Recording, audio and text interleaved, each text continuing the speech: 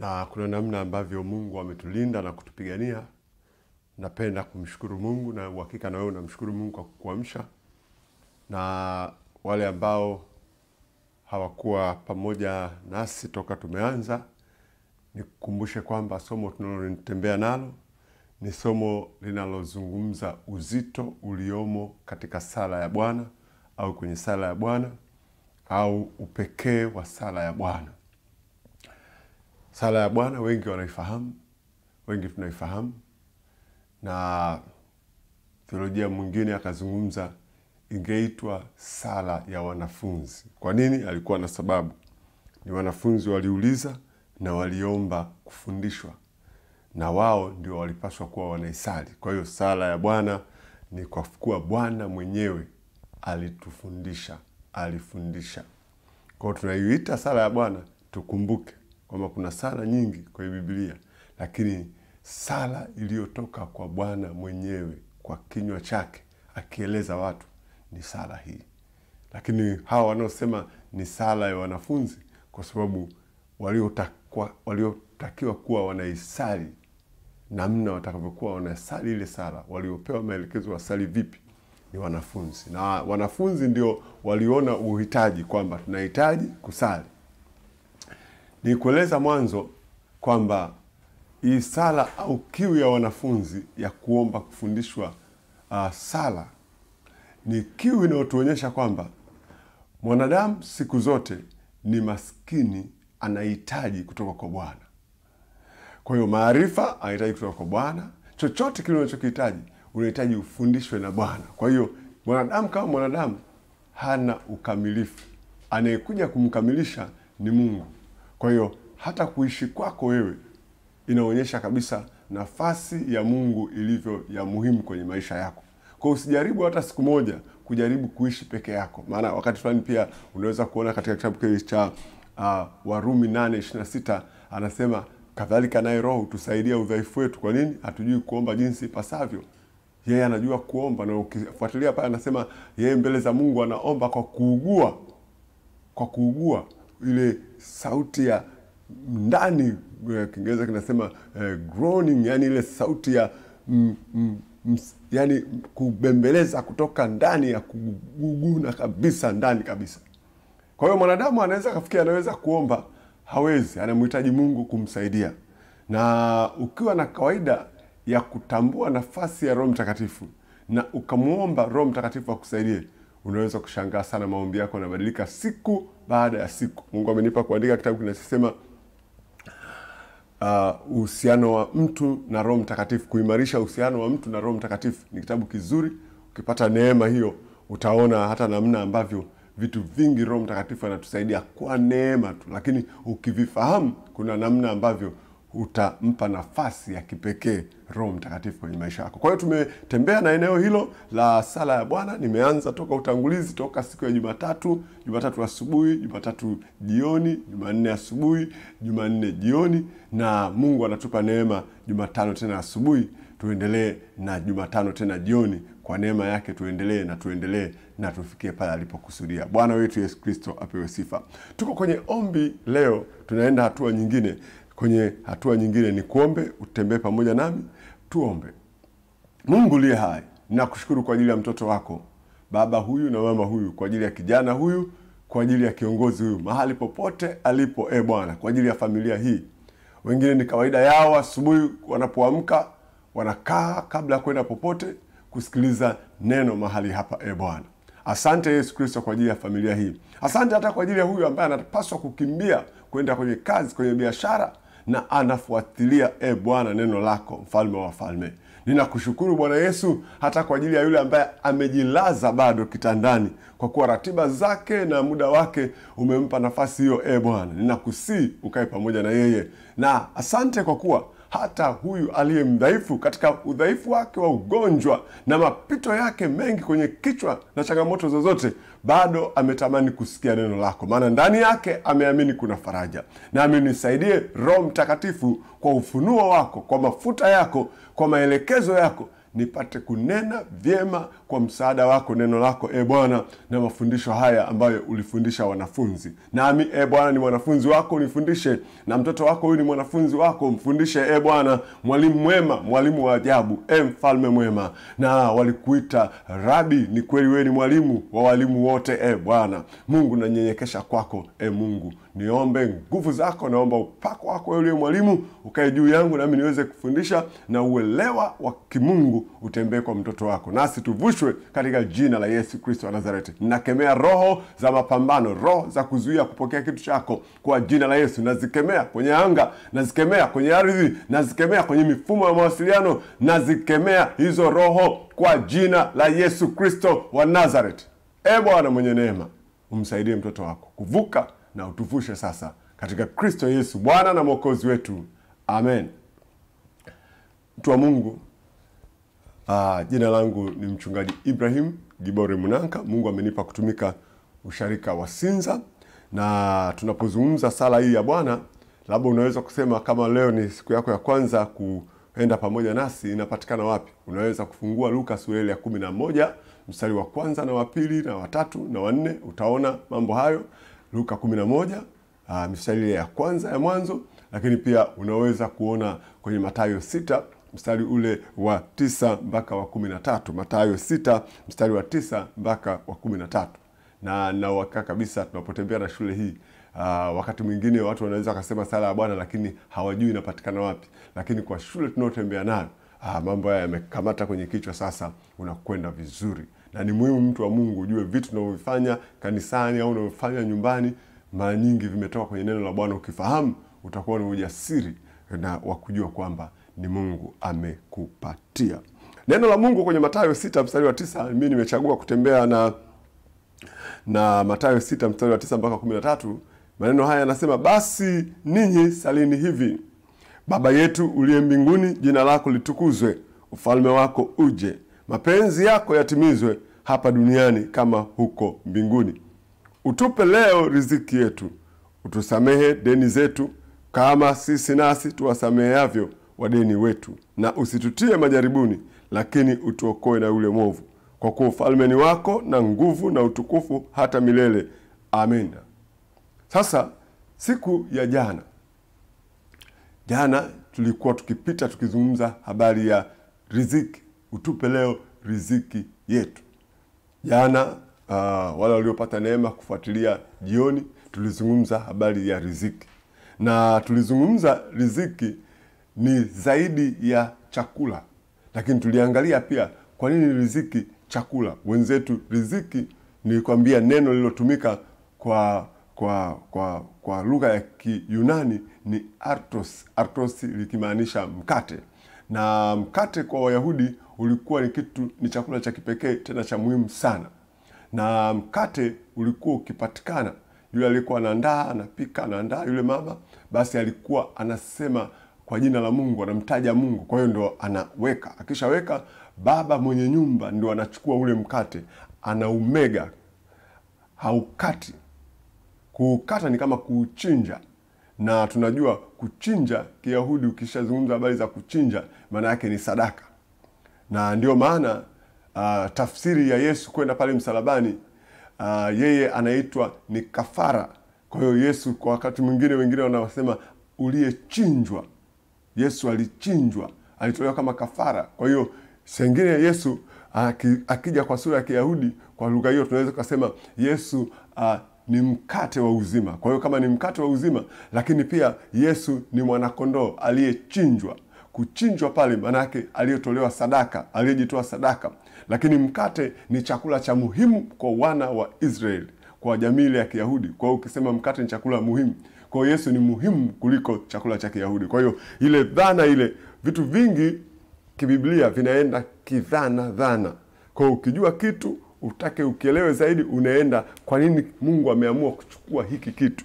Kwa nini anaamua kuchukua mchungaji, anasema yeye ni mchungaji? Kwa nini anaamua kusema mlango? Ukienda kule kwa Wayahudi ni rahisi sana kuelewa kwa nini, na ukishaelewa kwa nini, unapata ile maana iliyoshiba kwa msaada wa Roho Mtakatifu. Bwana wetu Yesu Kristo asifiwe sana. Kwa hiyo Yesu anapokuja na yeye anaumega mkate. Kwa hiyo kipindi cha wenzetu au kawaida yao, kwa utamaduni ulioshiba, wanapokutanika, baba anaumega mkate, ndio watoto au watu wengine wanaweza kupatiwa na kula. Kwa hiyo mkate ulikuwa chakula cha muhimu. Kwa hiyo na sio tu chakula cha muhimu, ilikuwa chakula walichoamini Mungu ndio ametoa. Kwa ilikuwa ni chakula kitakatifu. Kwa kama Mungu ametoa ni kitakatifu. Sijui kama una uhakika, sisi tunapokula ugali wetu sisi wa Tanzania au Afrika tunapokula ugali alafu uchukue ule ugali uone ni mtakatifu. Kwa nini mtakatifu? Ni Mungu amekupa, uheshimu. Hata kula yako unakulaje, ujue ni wakati wa kula. Una wakati mwingine unaweza kudondosha, ujue kwa nini kimedondoka. Eh, wenzetu uh, walithamini sana. Kwa hiyo mfumo au namna ya kula chakula au namna walivyoinua chakula waliamini kimetoka kwa Mungu. Kwa hiyo Yesu anapoweka maneno haya, utupe riziki, anapowafundisha wanafunzi, muombe utupe riziki yetu, maana yake wanataka Yesu Kristo anataka wanafunzi wajue kwamba Mungu ndiye anayeleta. Tuliangalia Zaburi ya mia na nne uh, Zaburi ya mia na nne tuliangalia maneno mengi uh, Zaburi ya mia na nne mstari ule wa ishirini na saba na Zaburi ya mia moja arobaini na sita mstari wa saba Eh, kuna mahali pengine Biblia inasema ukifungua mikono, ukikunjua mikono, watu wako wanashiba. Kwa hiyo ina maana wanategemea Bwana afungue mikono. kwao maana ya sala hii pale kipengee cha utupe leo riziki yetu, watu waamini kwamba Mungu ndio atoae chakula. Watu waamini. Kwa nini? Usipoamini huwezi kumtegemea Mungu. Kwa unamwamini alafu unamtegemea kwamba akupe chakula, kwa sababu usipomtegemea Mungu, wapo wengine watoao chakula. Kwa kuna watu wanaweza kutoa chakula kikakufanya wewe ukawa mateka. Nyinyi wote mnafahamu, utakubaliana na mimi mtu wa Mungu, kwamba Danieli alikataa. Ukisoma Danieli sura ile ya kwanza mstari ule kuanzia wa saba wa nane wa tisa wa kumi wa kumi na moja pale, soma kile kipengele chote Danieli sura ya kwanza kuanzia mstari ule wa nane kuendelea mpaka wa kumi na mbili pale, endelea pale, soma pale pote utaona pale Danieli anatakiwa kula chakula cha mfalme, lakini Danieli kwa kujua kwamba yeye anamwabudu Mungu aliye hai akasema siwezi kula chakula hiki. Kwa nini? Chakula cha mfalme kimechanganywa na vitu vingine, kimetokea kwenye madhabahu za kwake. Huyu hamwamini Mungu aliye hai, kwa hiyo ndani yake alikuwa anataka apate uh, anajua kwamba ata ndani yake aligundua kwamba akila kile chakula, ile hali ya uungu Mungu aliyoweka ndani yake itaondoka, atakuwa najisi. Kwa hiyo hatakuwa anatenda mapenzi ya Mungu akiwa pale, zaidi sana atakamatwa na nguvu na uwezo mwingine. Akasema hapana, hapana, hapana. Kwa hiyo chakula hiki kingemwondolea kitu ambacho Danieli anacho.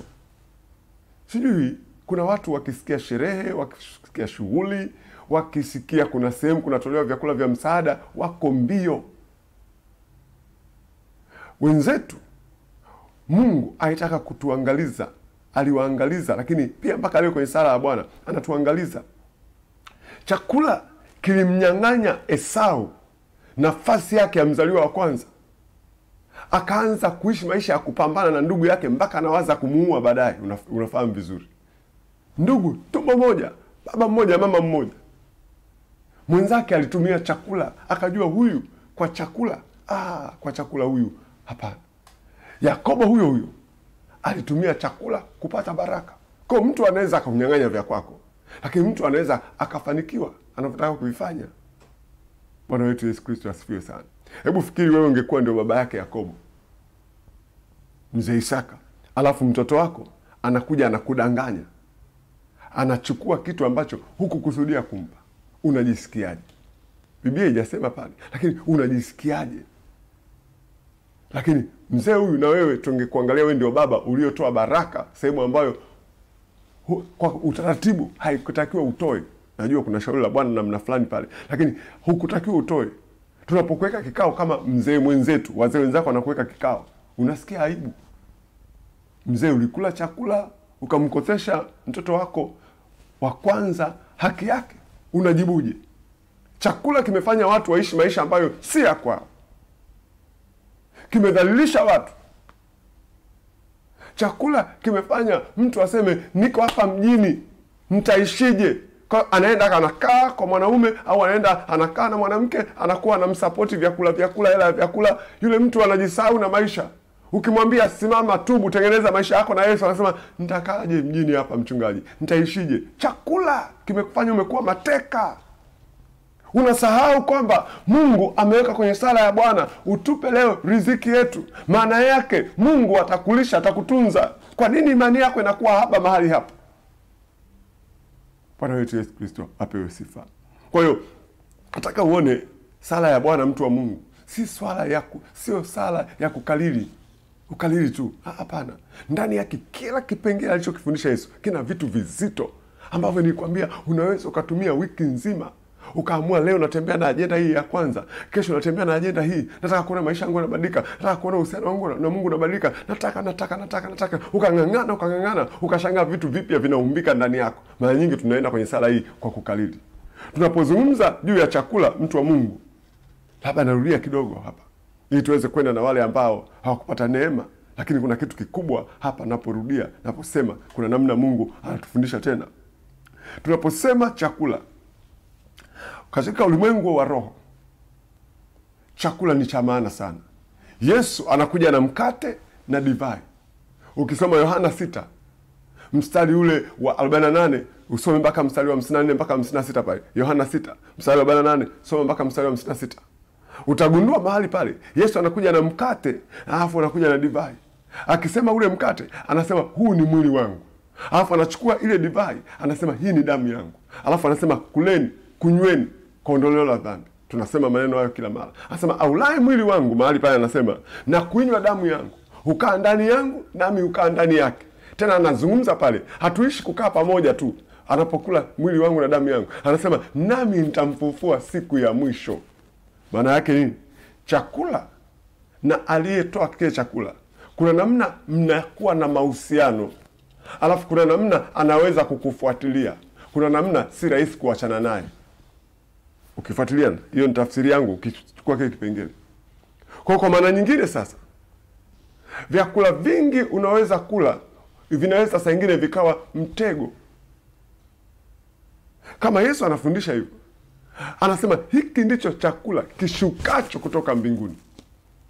Kwa kama hiki ni chakula kishukacho kutoka mbinguni, natoa mimi, ina maana kuna wengine wana vyakula ambavyo havishuki kutoka mbinguni, na wakikupa hivyo vyakula kwa malengo yao, kwa miungu yao, kwa nguvu zao, hautakuwa yule uliyekuwa. Kwa hiyo ina maana wewe unaingiliana na yeye na yeye anaingiliana na wewe, huishi maisha ya kwako tena na Mungu wako kwa kuwa huyu aliyetoa chakula naye ana, ana ajenda zake. Kama Yesu anasema nami nitamfufua siku ya mwisho, huyu naye ana vitu vyake atakufanyia. Mtu wa Mungu, ni muhimu ujue uzito wa chakula na thamani ya chakula na atoae chakula. Na tu, Martin Luther anapozungumza kwenye kipengele hiki cha utupe leo riziki yetu, unaweza ukajuza kwa nini nazungumza habari ya Martin Luther. Huyu ni mwana matengenezo mmojawapo mkubwa katika kanisa la Mungu, sio tu kanisa la Kiluteri, kanisa la Mungu. Martin Luther alifanya katika mambo mengi ambayo na yeye aliyaona, akasema hiki hakiko sawa, hiki hakiko sawa, hiki twende hivi, Biblia inasema hivi, hivi. Alipokuwa na tafakari, huyu alikuwa mtumishi wa Mungu. Alipokuwa na tafakari, yeye maneno haya anasema, Mungu anaposema utupe leo riziki yetu, ni, ni mkate, ni chakula na ni zaidi ya chakula, maisha yote, vitu tunavyovihitaji kwa ajili ya maisha kwa ni muhimu kujua vitu hivi vinatoka kwa Mungu, mtu wa Mungu. Bwana wetu Yesu Kristo apewe sifa. Na leo tutasogea kidogo tena, leo tutasogea kidogo tena. Tunaposema utupe leo riziki yetu, Mungu anataka tumshukuru, tumtambue yeye ndo anayetoa. Tumshukuru, tumtambue, tumuombe, tumtukuze. Kwa nini? Yeye ndio anayetulisha, ndio anayetunywesha, ndio anayeshughulika na sisi. Amen. Lakini ni kueleze hapa, usije ukajisahau. Tunaposema utupe leo riziki yetu, hatuna maana kwamba tuombe tu Mungu atupe riziki, atupe chakula, ashughulike na maisha yetu. Aa, utupe leo riziki yetu, Mungu bado anatuhimiza tuombe na kutenda. Amen. Omba upewe riziki, lakini tenda. Danieli hakukataa tu chakula cha mfalme. Angekataa angekufa moja kwa moja. Alikataa, lakini akasema nileteeni mtama. Alipita kwenye mazingira magumu, lakini alifanya kitu, akaendelea kustawi, na Mungu aliona ile hitaji lake, kwa Mungu akajaza eneo lake la kula. Ingawa alikula mtama katika shida, lakini ule mtama ulikuwa zaidi ya mtama kwenye afya ya Danieli na maisha yake ya Danieli. Kwa hiyo na utaona kwenye Mwanzo tatu kumi na tisa Mwanzo tatu kumi na tisa Biblia inazungumza kwamba Mungu anamweleza Adamu, utakula kwa jasho. Maana yake nini? Ina maana uomba riziki, lakini lazima ufanye kazi hiyo riziki, hilo shamba, hizo shughuli ziweze kwenda. Lazima uende kwenye biashara, lazima ufanye kazi. Mwingine anasema mimi sifanyi kazi nani, lakini huko nyumbani hapo nyumbani lazima usafishe hiki usafishe hiki, kuna vitu viende vizuri. Wengine wanaoenda kwenye kazi kwenye biashara, wakirudi wakute umefagia umefanya hivi, sio ulikuwepo kama haupo. Aa, lazima uonyeshe ulikuwepo. Kwa unapomwomba Mungu utupe riziki, Mungu pia kwa sura nyingine angetamani kukagua kazi. Kwa nini amesema utakula kwa jasho? Biblia inatueleza kwenye Wathesalonike wa pili sura ya tatu mstari wa kumi Wathesalonike wa pili sura ya tatu mstari wa kumi ikiwa mtu hataki kufanya kazi basi asile chakula. Ikiwa mtu hataki kufanya kazi, hayo ni maelekezo ya Mungu kupitia mtume wake Paulo. Ikiwa mtu hataki kufanya kazi, basi anasemaje? Asile chakula. Kinyume, ina maana huyu mtu, angalia maneno haya, ikiwa mtu hataki kufanya kazi basi asile chakula. Ina maana labda alikuwa anaenda kula chakula, labda alikuwa amepanga na wasumbua, tunaombeni chakula Anasema ikiwa. Kwa nini? Miongoni mwa jamii hii kuna watu walianza kuibuka wavivu. Tuna familia ambazo leo kuna watu wavivu, wangetamani chakula kishuke kama mana, kidondoke tu, wamelala wamekaa. Mtu anataka kufanya kazi nyumbani, hafanyi kazi, akienda ofisini amekaa pale. Unajua, nikueleze mtu wa Mungu, kuna mtu yuko ofisini, anapofunga uh, kazi jioni, ukimuuliza umefanya nini amekwenda tu ofisini. Umefanya nini leo? Bosi ajivune kwa ajili yako kwa lipi? Vingine ulivyotumwa umefanya hovyo hovyo, havieleweki, umetusumbua, vichwa vyetu vimeuma, bora tungemtuma mwingine. Kwa hiyo ni muhimu ufanye kazi, na wewe jipe maksi kwamba nimefanya kazi, nimefanya nini? Nimefanya moja, mbili, tatu. Na leo unaenda unaenda kwenye kazi, yamkini unaenda kwenye biashara Napenda wale wafanyabiashara ambao wanang'ang'ana asubuhi, wanasimama na Mungu, wanaenda kwenye biashara zao. Wakienda wasipouza, wanaumia, wanaambia Mungu haiwezekani. Wanasimama na Mungu kwa sababu amejituma, amefanya hivi, amefanya hivi, na Mungu ni wa pekee, hata kutetea uone matunda. Kwa nini? Anasema yeye anabariki kazi za mikono yetu. Kwenye Zaburi ya mia moja ishirini na nane anasema taabu ya mikono yako hakika utaila. Umesumbuka, umehangaika, Mungu anasema utaila taabu yake, yaani utapata matunda ya, ya mikono yako. Bwana wetu Yesu Kristo asifiwe sana. Hasa kama mikono yako imejaa uvivu, nafahamu wapo hata wanaume wengine, yaani anapenda tu apokee, apokee, hakuna anachofanya na wakati mwingine adui amewashambulia watu kwa uvivu, roho ya uvivu ndani yao afu wanatamani, wanatamani kula vizuri, wanatamani kula vizuri, wanatamani. Unakula vizuri kutoka wapi? Utaiba, utafanywa mtumwa, utafanya mateka, utaingizwa kwenye uchafu, utatumikia shauri la mabwana wengine, na wakati unasema Yesu ni bwana wako. Kwa kama Yesu ni bwana wako, anaagiza kufanya kazi. Haleluya, mtu wa Mungu. Tutapita kwenye hicho kipengele tutapita kwenye hicho kipengele kuomba juu ya uvivu unaosumbua watoto wetu, unaosumbua vijana wetu, unaosumbua wababa katika familia zetu, unaosumbua mama kwenye familia zetu. Tutapita kukemea hiyo roho ya uvivu, lakini leo amua. Na ninakwambia mtu wa Mungu, kuna watu wanakaa kwenye nyumba zao, mbele zao kuna bustani, mbele zao wanaweza wakalima kitu, unakuta pameota majani, mbu tu wanakuwa ndani mbu tu, kwa sababu yani majani ungeweza kuyakata, ungeweza kusafisha mazingira. Siku moja nilikuwa nashangaa, mtu mmoja anasema sina kazi bwana, mi nipo tu, afu mbele yake kuna majani, mpaka wale watu wa, wanaofagia jiji wanaofagia mitaa wanakuja kufagia, amekaa tu pale mbele, uvivu huo, Afu Mungu anakubariki kutoka wapi? Hata hiyo kazi ya hapo, Afu nataka riziki. Chai wa kwanza.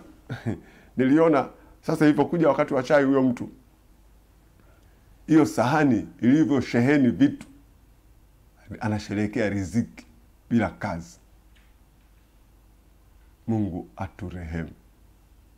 Mungu wetu mwenyewe hakustarehe tu ile siku, lakini alikuwa amefanya kazi. Aliumba, aliumba akastarehe. Bwana wetu Yesu Kristo asifiwe. Wapo watu wanataka kula tu bila kufanya kazi.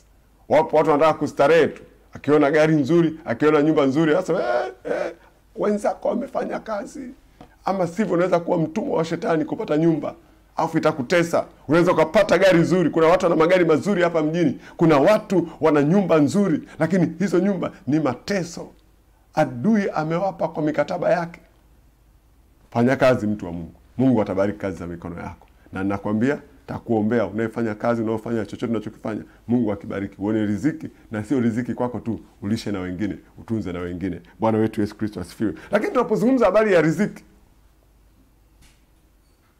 anaposema pale, tuliangalia neno, kuna neno pale, utupe leo riziki.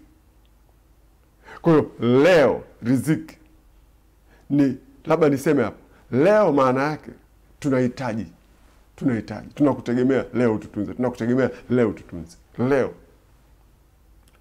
tunategemea, hata kama navyo vingi kwenye ghala, hata kama navyo, nakutegemea wewe bado, kwa sababu naweza nikawa navyo lakini vikashambuliwa, uhifadhi wake unakutegemea wewe. Lakini pia hata kula sio jambo jepesi. Kuna watu wana kila kitu hawezi kula, sio kama kupitia hiyo hali, huumwi lakini husikii kula, lakini unaweza kujikuta hali yako inazidi kuwa mbaya.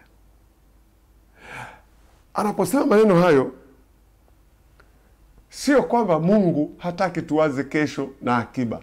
Hapana,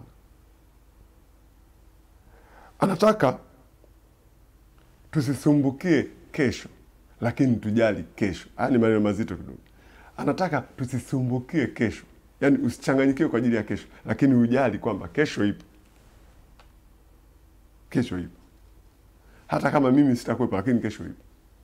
Ukijali kama kesho ipo, utaweka akiba hata kwa watoto, utakumbuka watoto, utakumbuka familia yako. Wakati fulani rafiki yangu mmoja alikuwa ananiambia tumishi, twende tukafanye kazi moja, tuenda kulima, tunaenda kulima miti, taka tukafanya biashara ya miti. Kamuuliza, miti hiyo huenda kulima baada ya muda gani unavuna? Akasema miaka kumi, mingine mpaka miaka ishirini. Ukisikia miaka kumi mpaka miaka ishirini unasema oh, basi basi basi, mi siendi. Kwa nini? Unajua kwamba ah, miaka kumi ishirini nitakuwepo. Wakati unasema hivyo, baada ya muda unashangaa wenzako wanavuna miti.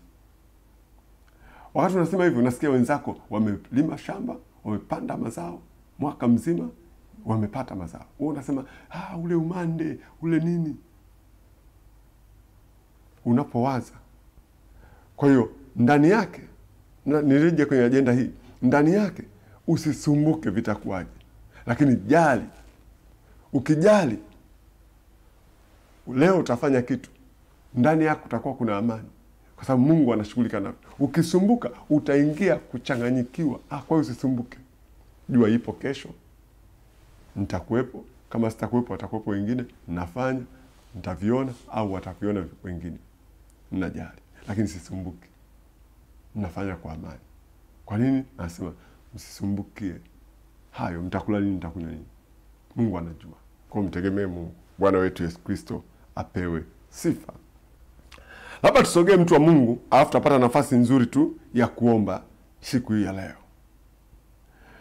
Kwenye kitabu hiki cha Mathayo sita mstari wa tisa kwenye sala hii ya Bwana kuna maneno pale yanayosema kwenye ule mstari wa kumi na mbili utusamehe deni zetu kama sisi nasi tuwasameheavyo wadeni wetu utusamehe deni zetu. Sasa kabla sijaendelea sana, nataka uone hapa mstari wa kumi na moja kwenye sala hii inaanza utupe leo riziki yetu, alafu anasema utusamehe sisi nasi utusamehe deni zetu. Kwa hiyo mahali hapa swala la utusamehe limekwenda karibu na utupe leo riziki yetu. Kwa nini kula na kunywa au kutunzwa vinakaa pamoja na kusamehewa, vinakaa karibu? Kwa nini? Hili ni jambo zuri. Watu wengi sana tungetamani tule, lakini tusijue kwamba swala la kutengeneza uhusiano wetu na Mungu au kujua kwamba Mungu ni mtakatifu, swala la kutaka kusamehewa ni la muhimu. Mtu anayetafuta kusamehewa, mtu anayetafuta msamaha ni mtu ambaye ndani yake anajijua kwamba anapewa vitu vingi kwa neema. Kwa hiyo anamwona Mungu aliye mtakatifu, anajiona yeye mwenye dhambi, aliyetunzwa, aliyelishwa, anajiona anamhitaji Mungu. Bwana wetu Yesu Kristo apewe sifa. Swala la msamaha linapasa kila Mkristo afahamu kwamba Kristo au Mungu pekee ndiye anaweza kujua maisha yetu, kwamba pasipo msamaha kuna vitu vingi vinaweza kuharibika. Msamaha unaleta mahusiano. Kwa upekee wa ombi la msamaha ni kwamba linazidi kuwa la pekee pale anaposema kama nasi tunavyowasamehe waliotukosea. Kwa msamaha wa Mungu hausimami kwako binafsi, unasimama pale ambapo unakuangaliza na wengine. Unajua, yeye akikulisha, akikutunza, akikusamehe, kuna watu wengi hatuwatunzi, hatuwalishi, wametukosea moja, mbili, tatu. Kwa hiyo umelishwa, unataka nikusamehe, anakuangaliza na wengine. Kwenye lugha ya kwetu sisi kuna neno moja inasema, nakumbuka kwenye kukua kwangu wazazi wana maneno wanasema, vitu vyangu ni vichache utakula. Labda nizungumze kwa lugha ya kwetu, ivyane mvikeolelea Najua ni ngumu kurudia, lakini niseme sasa. Mtu anakwambia umenikosea hivi na hivi na hivi, vitu vyangu hautakula, hautavila vingi. Kwa huyu mtu anakuzuilia vitu, amevishika vitu vyake, ameshika riziki ambazo angekupa, anasema hutapata vya kwangu vingi. Kwa anaweza akala, anakula, anakula, afu anaenda kwa Mungu, utusamee makosa yetu. Lakini ile saa inamwambia ah, wewe mimi nimekulisha. Kumbuka tulivyokuwa tunazungumza jana, ni kwamba ni lazima anayetoa chakula ajue kwamba ni Mungu aliyempa, ndio anayetoa kwa ajili yake kupitia yeye. Kwa hiyo na kama Mungu alitoa, basi na wewe hutakiwi kuzuia, lazima utoe. Sasa huyu mtu, nakupa mfano wa, wa jamii yetu, anaweza akasame, akataka kusamewa akalishwa na Mungu, yeye akavishikilia vile vitu, akaona ni vya kwake, na ametoka kufanya sala ya Bwana, amemwomba Mungu juu ya chakula. Asijue kwamba zoezi la chakula au kuomba Mungu ili ule chakula ni sala iliyotoka kwenye sala ya Bwana au ni sala ambayo iko kwenye sala ya Bwana, na ile sala inamuhimiza kwamba na wewe samehe, na ukisamehe, kwa maana nyingine utamfanyia huu vizuri, na wewe kama Mungu amekupitishia riziki utapeleka kwa mwingine. Nikupa yale maneno ambayo aa, wenzetu Wayahudi walikuwa wakimpa mtu chakula, afu yule mtu akianza kumshukuru, asante kwa kunipa, wasema hapana, sio mimi niliyokupa ni Bwana aliyenipa, ni Bwana aliyekupa chakula. Kwa walikuwa wanamuona Mungu. Sasa wewe nani ambaye unafika hatua umepewa chakula, umesamehewa, unataka kusamehewa, alafu unazuia usifadhili mwingine? Kwa hiyo sala hii inapoungana na eneo la riziki inatukumbusha kwamba tunatunza kwa aji, au kwa kusudi la Mungu. Sisi ni mikono ya Mungu kwenye kutunza watu wake. Kwa Mungu analeta kwa sababu ni Roho, anatupa sisi kwa njia ya mibaraka yake namna mbalimbali. Sisi ndio mikono inayoonekana, sisi tunaanza kuwapa wengine. Kwa hatuwapi wengine vyetu, tunawapa wengine vya Mungu kupitia sisi, tunawapatia. Haleluya, mtu wa Mungu. Kwa hiyo ni sala ambayo ndani yake inatuhimiza kwamba unapotaka matengenezo na Mungu unapotambua kutengeneza na Mungu, unapotambua nafasi ya Mungu, ni muhimu sana na hiyo nafasi na vile unavyovipata kwa Mungu uvielekezwe kwa mwingine. Anasema kama sisi tunavyowasamehe jirani zetu waliotukosea. Bwana wetu Yesu Kristo asifiwe. Mara nyingi sana, mtu wa Mungu, watu waliotusaidia kwenye maisha, watu ambao wamefanya vitu kadha wa kadha, watu waliotuzunguka, hatuwaoni kwamba wamezungushwa hapo na Mungu tufanye kitu kwao. Sina maana kwamba tutunze wavivu, ni pamoja na kuwahimiza pia kufanya kazi. Vyote hivyo, maneno haya yanatueleza kwamba Mungu anataka tujichunguze, alafu tusaidie wengine. Tujichunguze, alafu tuone upendo wa Mungu, alafu tuuthamini, alafu tuupeleke pia na kwa wengine. Bwana asifiwe sana. Ninavutiwa na maneno haya, kama sisi tunavyowasamehe. Labda nizungumze hapa leo kwa muda huu uliobakia, alafu tutaingia kuomba kama nilivyokuambia. Kwa nini watu wanashindwa kusamehe? Maana angalia ile saa inazungumza hivi pale kwenye msamaha, anazungumza hivi, utusamee deni. Deni hapa ni mambo ambayo tumeyakosa, tutaangalia huko vizuri, nitakuja vizuri hilo eneo deni zetu, lakini hapo anasema utusamee kama sisi tunavyowasamee wa deni wetu ambao hawajafanya vizuri kwetu. Kwa nini anazungumza maneno haya? Ina maana sisi tusipowasamehe na sisi hatusamehewi. Kwa sisi tusipotengeneza na hawa na sisi Mungu hatatengeneza na sisi. Labda hapo ni seme na wewe, kwa nini watu wanashindwa kusamehe? Kwa nini migogoro inakuwa mingi kwenye ndoa, migogoro inakuwa mingi kwenye ofisi, migogoro inakuwa mingi kwenye mitaa? Kwa nini? Kwa nini? Labda turudi kuangalia msamaha ni nini. Natamani tuangalie kipengele hicho, msamaha ni nini? Msamaha ni nini? Tunapozungumza swala la msamaha ni nini, na mambo kadhaa hapa natamani kuona na wewe. Tunapozungumza swala la msamaha, maana yake tunaomba Mungu asitazame makosa yetu.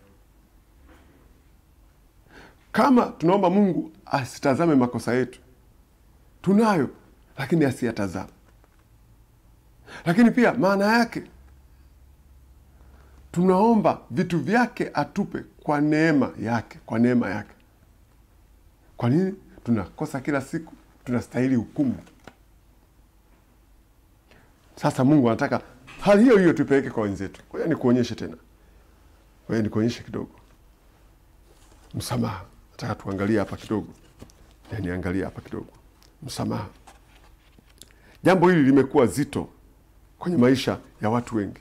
Unaposema msamaha, nimepata neema ya kuandika kwenye kitabu kinachosema maombi yatakayokufungua. Ukitaka ujifunze zaidi juu ya msamaha, unaweza kuona kitabu hiki pale ndani.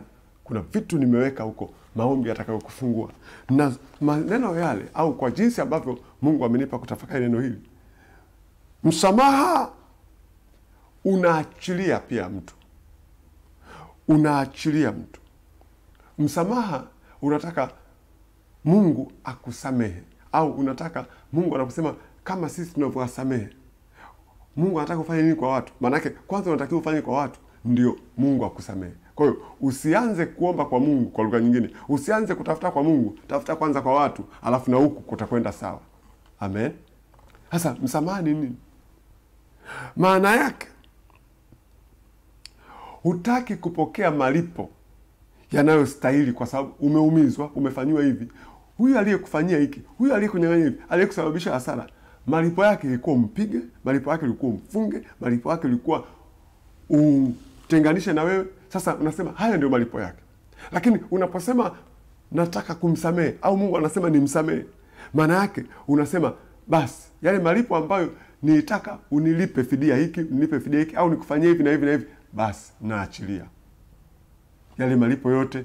Hapana, usinilipe, usinilipe hiki, nimekuachia.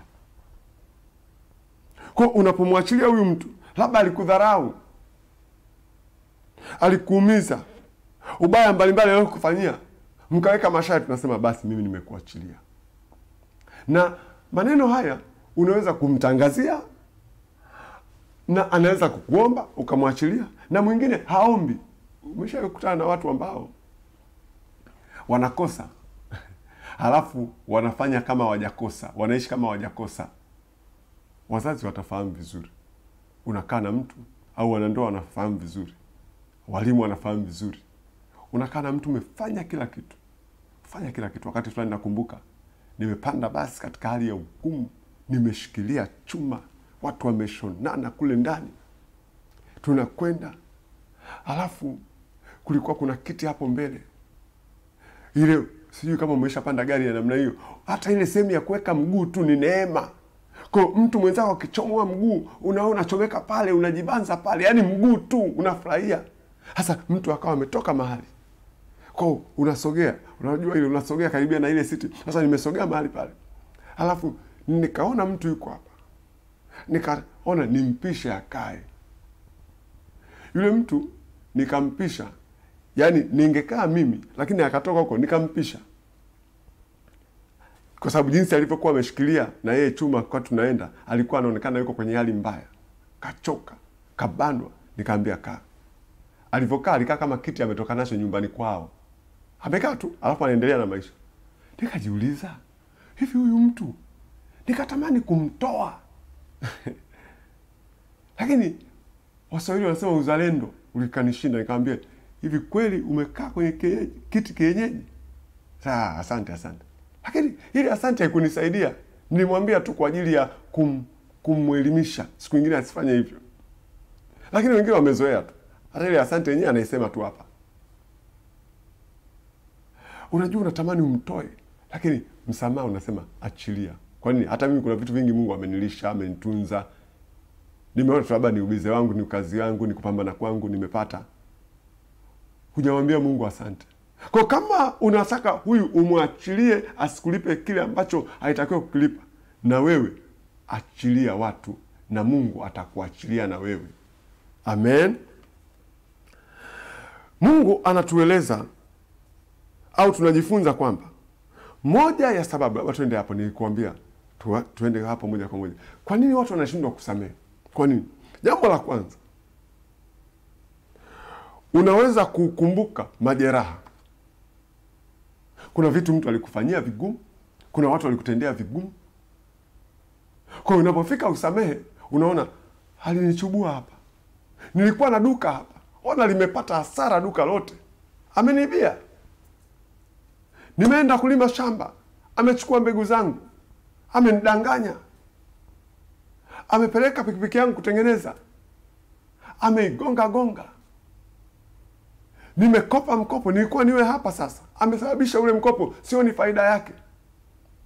Nimehangaika naweka vikoba fedha, nimekuja hapa baada ya kuweka hela kwa shida, anachukua fedha ananywea pombe tu, ananirudisha chini kila leo. Majeraha yamebaki, yamebaki. Sasa mimi simsamehe, simsamehe mimi, hapana.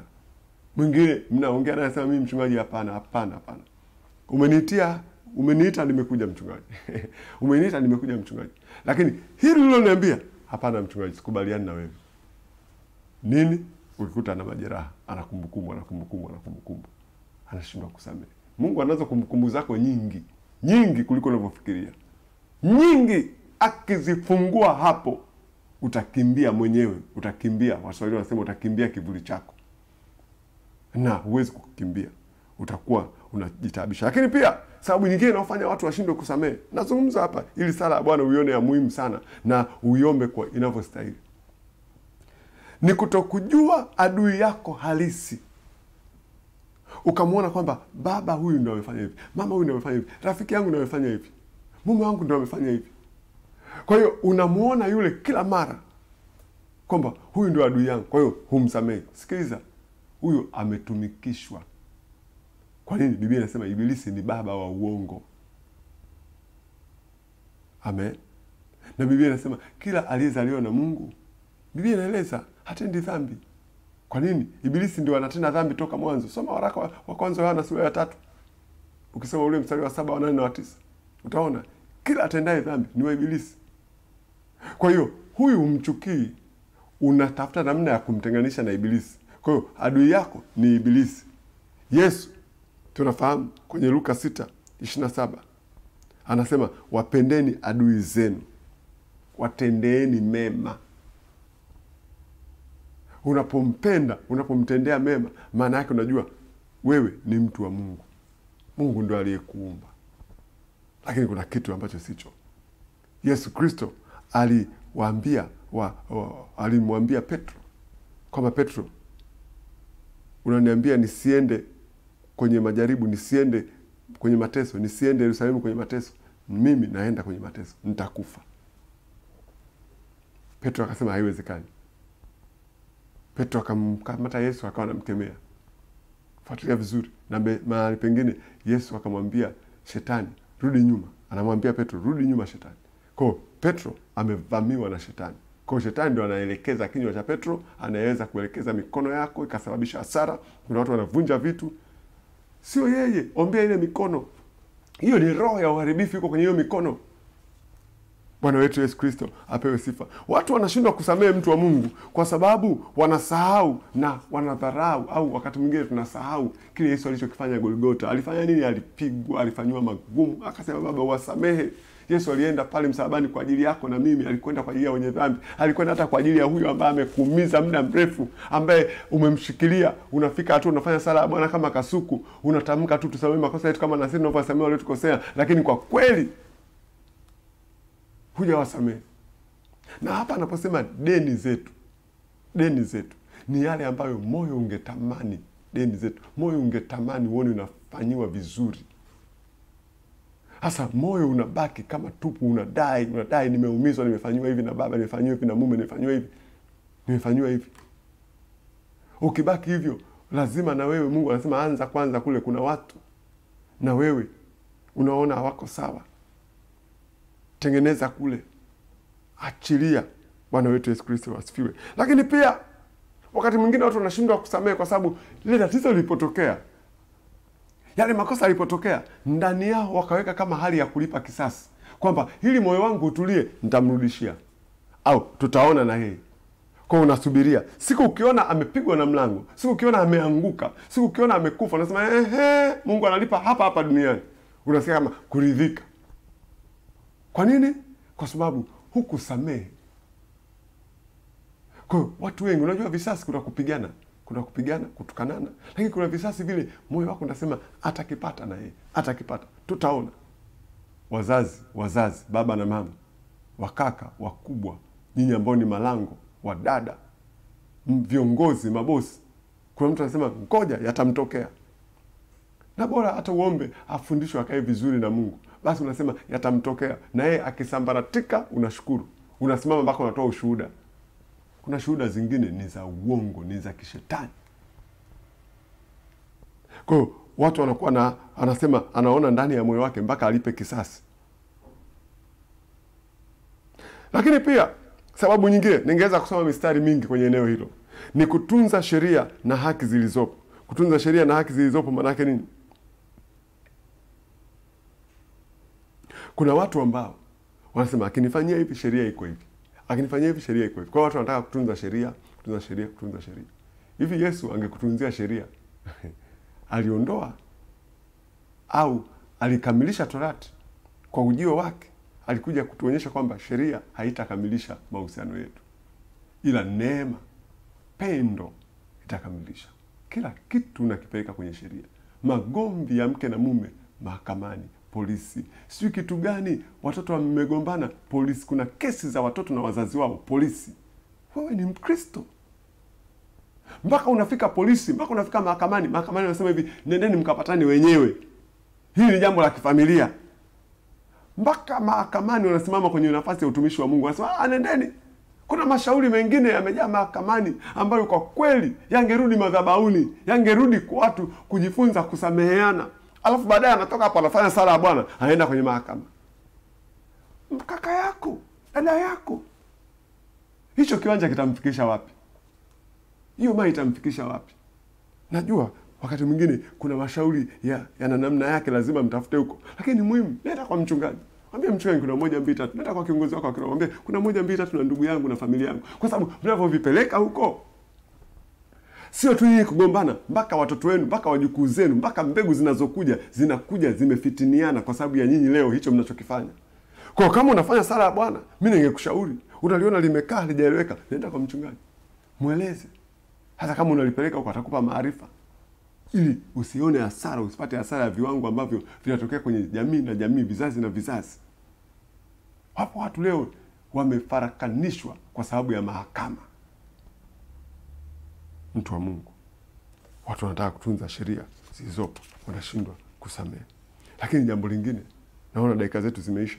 Aliyekukosea kutokuona sababu ya kutaka msamaha. Kuna mtu amekukosea haoni sababu ya kutaka msamaha unamwita kwenye kikao unamwita njoo tuzungumze yeye asamehe. Sikia samehe wewe kwa sababu ni kwa ajili ya wewe kusamehewa na mungu. Kwa yeye amekataa wahi kwa te, samehe mwambie nimesamehe mungu nimemsamehe yule fulani.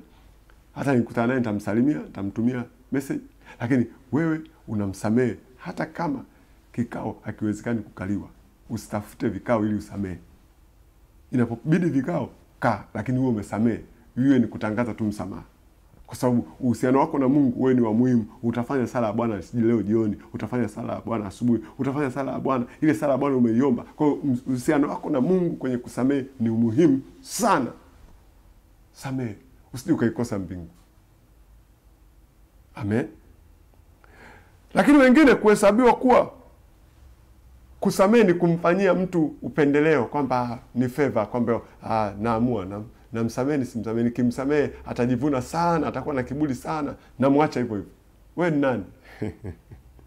Marko kumi na moja mstari wa ishiri na tano na ishiri na sita. Marko kumi na moja mstari wa ishiri na tano na ishiri na sita. Biblia inatuambia nanyi kila msimamapo na kusali sameheni mkiwa na neno juu ya mtu ili na baba yenu aliye mbinguni awasamee na ninyi makosa yenu. Kwa hiyo ina maana kama unafikiri unamfanyia feva unamfanyia upendeleo ina maana huendi kusali. Kwa nini? Kwa sababu kila unaposimama kusali cha kwanza samehe alafu sali. Sehemu ingine kwenye matayo tano utaona anazungumza habari kila anayekwenda kutoa sadaka aiache sadaka apatane na ndugu yake alafu ndo atoe sadaka. Kwa kwa maana nyingine ndio maana ibadani watu hatujagundua. Ibada yoyote sehemu kubwa ya ibada kabla haijaanza kuna kabla haijatolewa sadaka watu wanaomba msamaha. Bwana wetu yesu kristo asifiwe. Na ule msamaha watu wengi wanaomba pale nyumbani hawatengenezi. Nyumbani hawajatengeneza. Ni muhimu kutengeneza. Ile ni kengele ya kanisani kuonyesha tu kwamba unatakiwa kutengeneza toka nyumbani.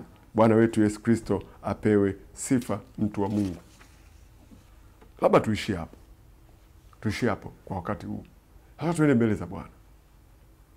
Tunapoenda mbele za mungu tunataka tuombe juu ya uvivu na hali ambazo zinafanya watu wasiweze kufanya kazi.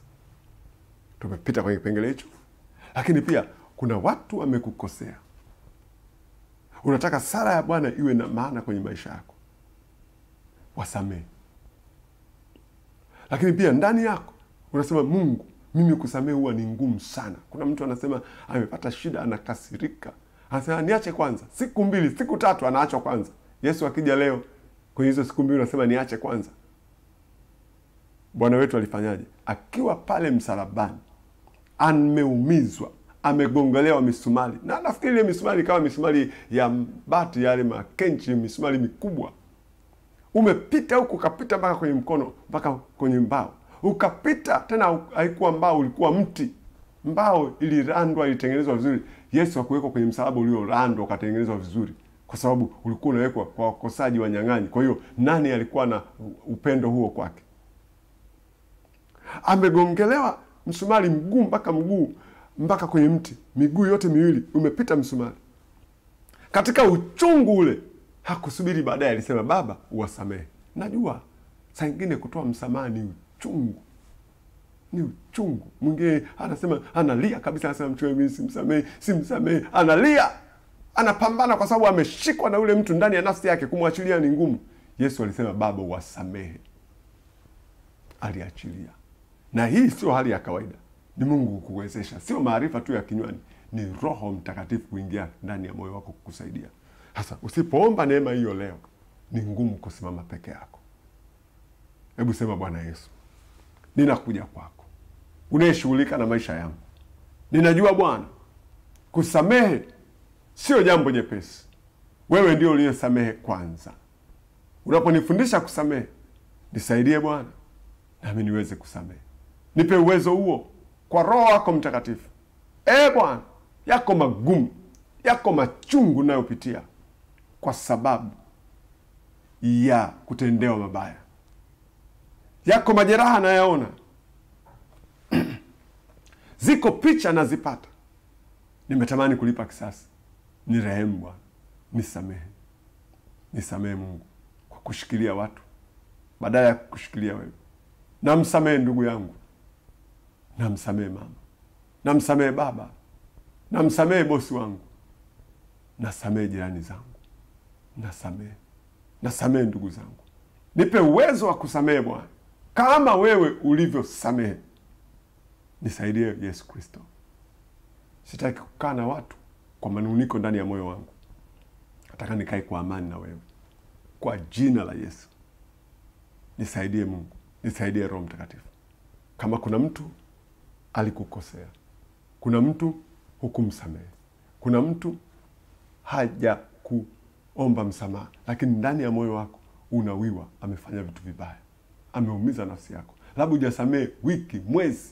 Kumbuka mtu wa Mungu, unaposhindwa kusamehe, ungesoma hichi kitabu, ungeona nilichokwambia, ah, ah, maombi atakao kufungua kama kuna mtu hujamsamee kama hujasamee unajisababishia matatizo ya kiafya mwenyewe, lakini pia uhusiano wako na Mungu unaharibika.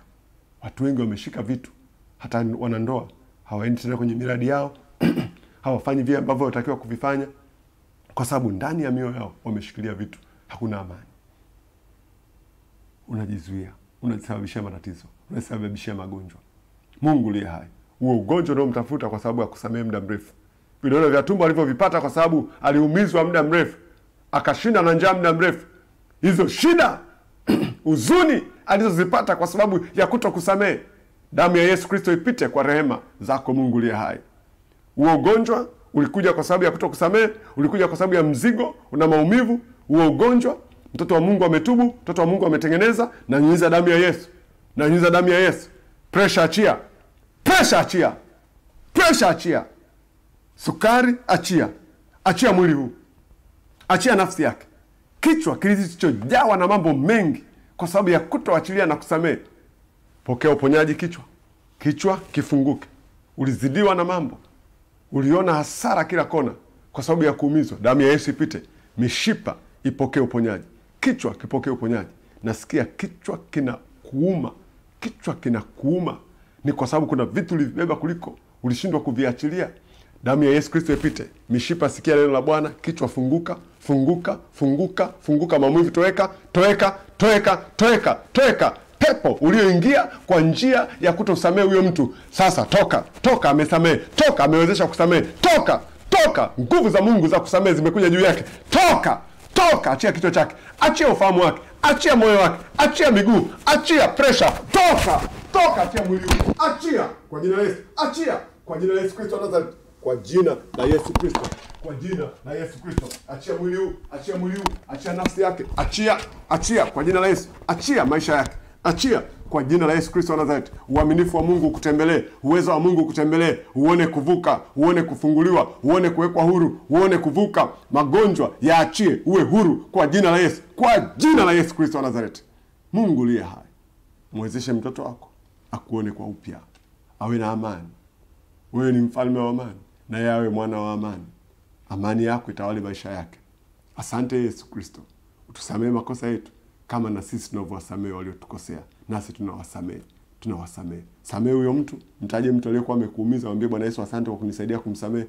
Mwambie, mwambie, mwambie, mwambie asante Yesu kwa kunisaidia kumsamehe huyu. Mtaje kwa jina, mtaje kwa jina, mtaje kwa jina, mtaje kwa jina, mtaje kwa jina. Roho Mtakatifu akuwezeshe sasa. Roho Mtakatifu akuwezeshe. Ulivyokuwa umezuiliwa, ukuta uliokuwa kuwepo kati yako na yeye umevunjika.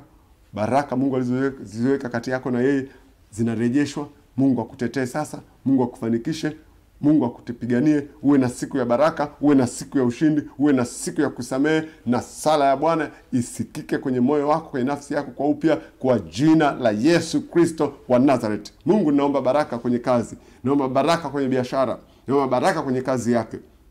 Neema yako Bwana ikae pamoja na yeye katika jina la Yesu Kristo Bwana wetu, amen. Mungu akubariki mtu wa Mungu, na jioni tutapata neema ya kupita kwenye kipengele kile ni kuahidi kuomba juu ya wavivu na watu wasiotaka kufanya kazi au na watu wasiona sababu ya kufanya kazi.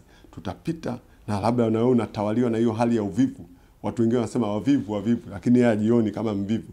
Tutaomba na Mungu atakuwezesha, utaweza kufanya kazi, utaweza kufanikiwa. Tutaomba, mwamini Mungu anaweza mambo yote, na unaweza kuungana nasi uh, kupata uh, su- tukio hili zuri uh, kutoa sadaka kwenye uh, kipindi hiki kwa namba 0713 0713 76 76 28 87 0713 76 28 87 namba ya kutuma sadaka. Mungu wa mbinguni akubariki na nakukaribisha ukipata neema kupata vitabu hivi ambavyo Mungu amenipa kuandika uh, uh, katika usharika wa Sinza ama uh, kwenye duka la vitabu la KKKT inayotazamana na Benki ya Maendeleo Posta Dar es Salaam, na popote pale ambapo ungetamani tukupatie, tutakupatia. Mungu akubariki. Bwana Mungu akubarikie na kulinda.